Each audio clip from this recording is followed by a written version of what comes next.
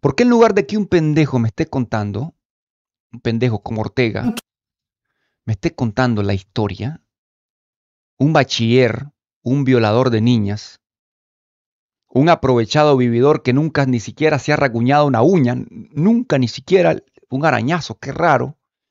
Alguien que tiene a sus hijos viviendo bien, mantenidos, con empresas, alguien que tiene 45 años en el poder, con un liderazgo, ¿por qué en lugar de que me lo esté contando la persona más tonta, digo yo, del sandinismo, ¿por qué no dejo lo tonto y lo pruebo por mi cuenta a ver si el yanqui imperialismo es malo? Vamos a ver esos toros de cerca. En lugar de que me lo cuente este sinvergüenza violador que, que secuestra opositores, que exilia personas, que vive con la excusa de todo el tiempo el yanqui, el yanqui, voy a ver si es cierto a ver qué malo es el yanqui. ¿Por qué en lugar de creerle a un montón de ministros sin vergüenzas que se han quedado atrincherados, pero que a sus hijos los han exiliado y viven bien con expresa, no suelto lo tonto, no dejo lo tonto y pruebo realmente a ver si el yanqui es malo, el chele, el gringo, el imperialismo es malo? Vamos a ver si es cierto. ¿Por qué le voy a creer a un bachiller que ha quedado ahí estancado toda su vida y que ahora se orina en los calzoncillos y que vierte frases que a la altura de la diplomacia no corresponden. ¿Voy a ir a probarlo? Yo no me quería venir a los Estados Unidos, pero dije yo, ve. Ni modo, pues yo me quería ir a Alemania. Cuando me dijeron hay refugio a Alemania, a Estados Unidos y a Canadá, Alemania. Pero cuando me dicen no hay Alemania, Solo hay cupo para Estados Unidos ahorita. Bueno, hablé con, con mi mamá de aquí que me diera posada y me dio, entonces me vine.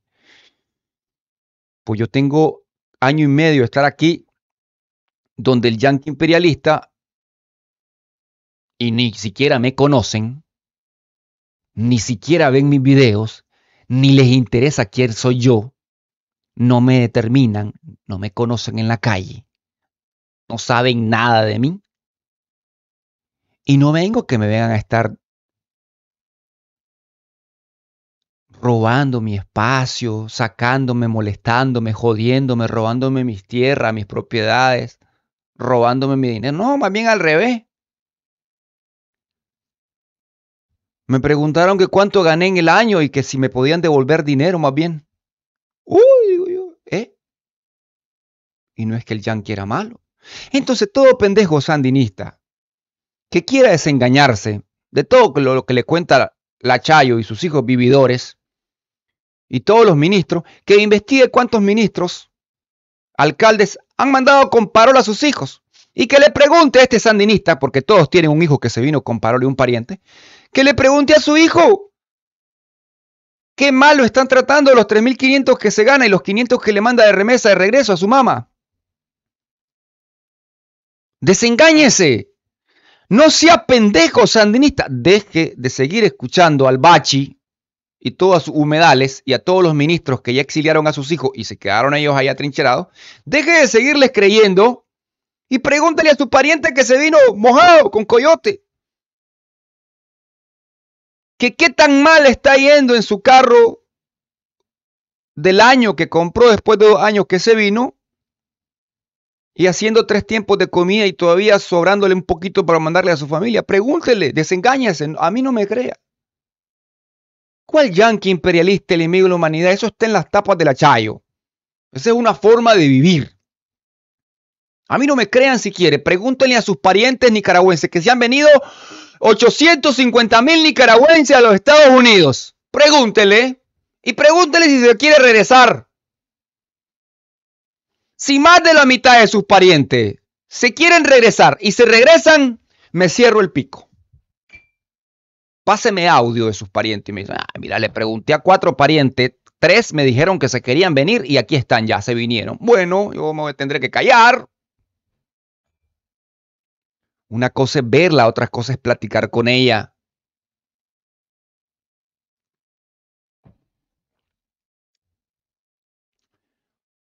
Escuchemos a Bailey. No me cae bien Bailey, pero me gusta con qué sabor se la deja ir. la política exterior se han peleado, y eso me parece saludable, el miserable dictador nicaragüense Ortega, este hombre, además de ser malo, es muy bruto, además de ser perverso, es muy estúpido, y se nota cuando habla, ¿no? Lo escuchas 30 segundos y te das cuenta de que es un idiota, ¿no? Nació idiota y nació malo, ¿no? Y con el tiempo se ha hecho peor, o sea, más idiota y más malo, ¿no? Pero se ha peleado con Lula, lo ha llamado arrastrado de los yanquis a Lula. Lula no es arrastrado de los yanquis, no, no, no. Toda la vida ha sido arrastrado de la dictadura cubana y la venezolana. Ahora, no sé, ah, en fin, está tratando de reacomodarse. Y entonces Petro, que también ha sido insultado por el miserable de Ortega, le ha contestado a Ortega. Eso es bueno. A mí me gusta cuando estos eh, matoncitos de la izquierda se pelean. Así que Petro le ha dicho, sí, arrastrado, bueno, por lo menos yo no arrastro los derechos humanos de mi pueblo. Eh, bien por Petro, que por una vez levanta la voz, a ver si la levanta también contra el dictador Maduro. ¿ah? Pero bueno, Petro se escuda detrás no, sabía yo que tenía esa vocación de segundo de Lula. Entonces Lula dice, nuevas elecciones, Petro dice, nuevas elecciones. Lula dice, muestran las actas, Petro dice, muestran las actas. Pero Petro es incapaz de tomar una iniciativa.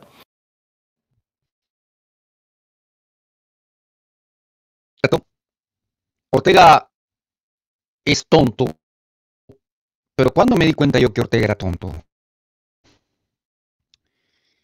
Me di, me di cuenta en mi proceso de salirme del sandinismo, me di cuenta de lo estúpido que era. Y, le voy a llamar, voy a usar un peyorativo nicaragüense. Era caballito. E, el mejor peyorativo para Nicaragua es que Ortega era caballito. Pero yo no sabía que Ortega era caballito. Yo creía que Ortega no era caballito. Y yo me acuerdo que en el 2011, Bailey, no sé si en el 2011 o 2012, Bailey lo criticó. Por eso traje este video hoy, porque me retorció el hígado este cabrón de mierda. Y qué bien, ¿no? Y me acordé, digo, lo debo reconocer, hace 13 años yo escuché a Bailey y ahora me parece muy divertido lo que dice tenga o no tenga razón, me parece divertido. Pero ayer me enojó, me molesté. En el 2011, que yo aposté la primera vez a Ortega, eh, eh, aposté en ese 2006 que empezó a gobernar, y, y a todos mis amigos que me criticaron, yo les dije, yo voy a votar por él. Pero si él se empieza a quedar, yo seré el primero en irme y en reclamar. Y le cumplí a mi palabra y le sigo cumpliendo. Mis amigos, mis amigos de derecha, liberales, mis amigos que vivían de bien, eh, acomodados, que aún se quedaron, creo, en Nicaragua la mayoría, saben que yo cumplí mi palabra y que les dije, si este cabrón de mierda se empieza a quedar, yo seré el primero en protestar. Bueno, llegó el manoseo de la constitución y ya no me gustó. Llegó, ya lo, ya, ya lo reclamé adentro, pero les importaba un comino lo que yo dijera. Un montón de adoctrinados, ¿a quién le iba a importar lo que yo dijera? Llegaron los palos chayos, pero en el 2012 creo, no sé en qué año fue, si 2008, 2012, por ahí, pero le pude dar la referencia cuál fue. Ortega tuvo un rifirrafa donde participó como pendejo ante el rey de España, al que no voy a defender, al rey de España no lo voy a defender por una simple razón, yo, yo, yo soy del Barça y tengo otro pleito aparte. No por la política y la jerarquía y la diplomacia y los reyes de España y, también por, porque estoy en contra de la gente que se queda eh, casada con el pueblo y estos reyes se quedan casados. Ya para eso está el matrimonio, te casas con, una mujer, con un hombre. Mm, está bien. Pero bueno, aparte de eso, Ortega participó y Bailey le criticó. Esta mañana, con una total falta de respeto. Qué pedazo de idiota, ¿no? Porque ante todo es un ignorante. Uno puede defender una idea u otra, ¿no? Una causa u otra, pero dentro de los márgenes de la inteligencia mínima, ¿no? Entonces decir que Bush es una tiranía, eso ya es mentira.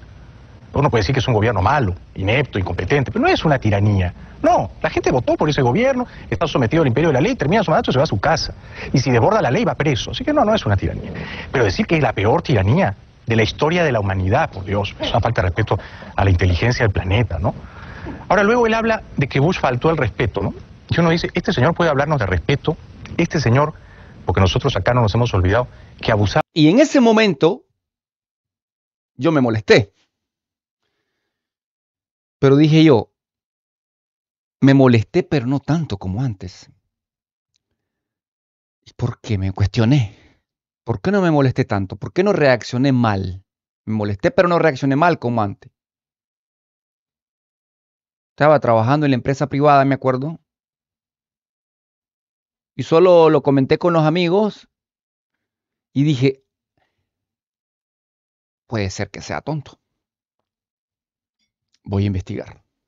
Y empecé, empecé a investigar más a Ortega y a atar cabos, a comparar, a, empecé a documentarme más y a compararlo conmigo, con mi conocimiento. Me fui personal. Digo yo, incluso yo sé más que, el, que Ortega, dije yo.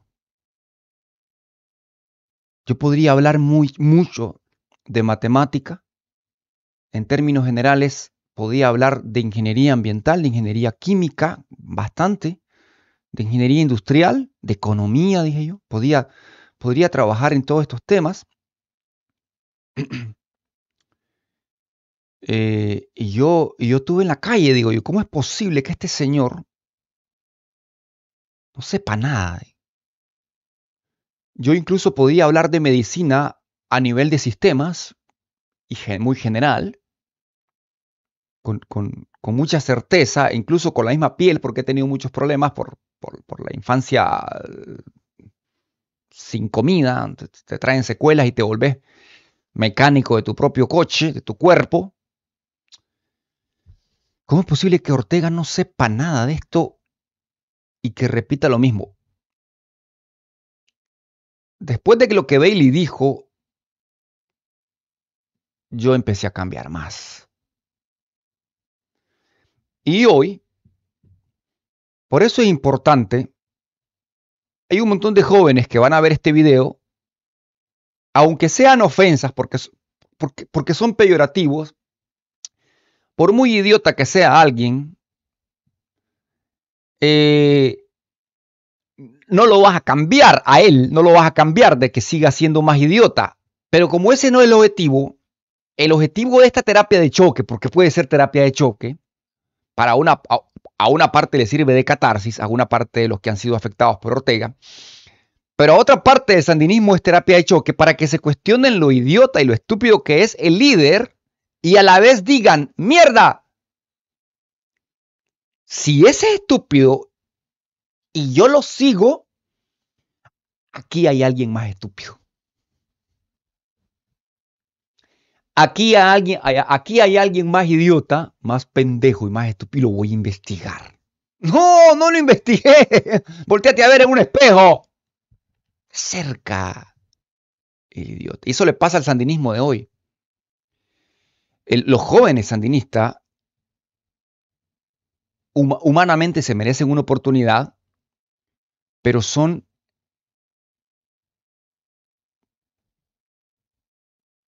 son pendejines. Son pendejines. A, un joven de un instituto, vos platicás con él, a cualquiera. Agarrás a cualquiera de quinto año de un instituto de Nicaragua. Y, y si no le tenés paciencia vas a llorar al preguntarle cosas. Básico, básico, le puedes preguntar que te mencione por lo menos tres, de, tres departamentos, tres, tres, departamentos con sus eh, municipios completos, por lo menos tres, de quinto año, que te lo debería de mencionar todos, la geografía, el conocimiento general de la geografía, el mapa político de Nicaragua, alguien de quinto año lo debería saber porque es un profesional en ciencias y letras que se prepara para sus funciones, para rendirle al país. Entonces, es una tristeza estos jóvenes bachilleres. Incluso les preguntaste de matemática y la mayoría no sabe. No sabe. Saben de Bad Bunny muy bien, de música, ¿no? De Shakira, que qué dijo Piqué, qué pasó con Bizarrap la última vez, cómo está el clásico entre Barça y Madrid, cuántos partidos ha ganado Flick eh, del Barça. Pero ¿de qué te sirve eso en tu desarrollo como de la, en tu vida intelectual interna en, el país? Entonces, la juventud sandinista también es tontina. Y por eso, esta terapia de choque es buena para los nicaragüenses. Aunque no resuelva y que Ortega se siga meando en los pantalones, porque está viejo, aunque siga enviando a, su a los familiares de los ministros con parol, el sandinista que está sufriendo, el tontín que se está quedando dentro y que no tiene oportunidad merece ver ese video y que se cuestione por un momento qué tan tonto es Ortega y qué tan tontos son sus líderes y qué tan tonto él siguiendo líderes tontos.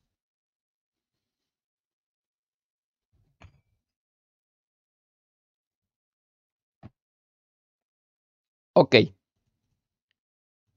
Cuanto a la Vamos política exterior, se han peleado, y eso me parece saludable, el miserable dictador nicaragüense Ortega, este hombre, además de ser malo, es muy bruto, además de ser perverso, es muy estúpido, y se nota cuando habla, ¿no? Lo escuchas 30 segundos y te das cuenta de que es un idiota, ¿no? Nació idiota y nació malo, ¿no? Y con el tiempo se ha hecho peor, o sea, más idiota y más malo, ¿no? Pero se ha peleado con Lula, lo ha llamado arrastrado de los yanquis a Lula. Lula no es arrastrado de los yanquis, no, no, no. Toda la vida ha sido arrastrado de la dictadura cubana y la venezolana. Ahora, no sé, eh, en fin,